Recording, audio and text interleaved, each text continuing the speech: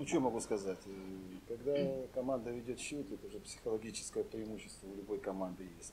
И Я бы не сказал, что если брать э, по счету, да, казалось бы, крупное по- поражение или крупная победа команде КПРФ. Мое мнение, что игра была ну, практически равная. И в итоге сказалось индивидуальное мастерство рядом ну, высококлассных игроков. Если взять в целом э, по нашей команде, взять по команде КПРФ, то в сумме индивидуальности они, естественно, выше нас на голову. Врать не буду в этом плане. Мы сегодня могли только противоста- противостоять, противопоставить именно командный дух, именно максимальная самоотдача.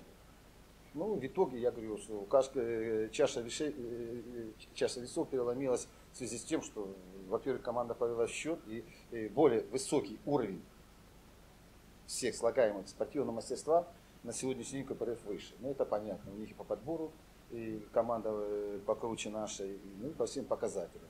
Сегодня мы не смогли полностью вот, самоотверженно провести матч, и в итоге получали из-за своих собственных ошибок. Где-то кто-то не доработал, кто-то выпал из какой-то комбинации. Все получаем.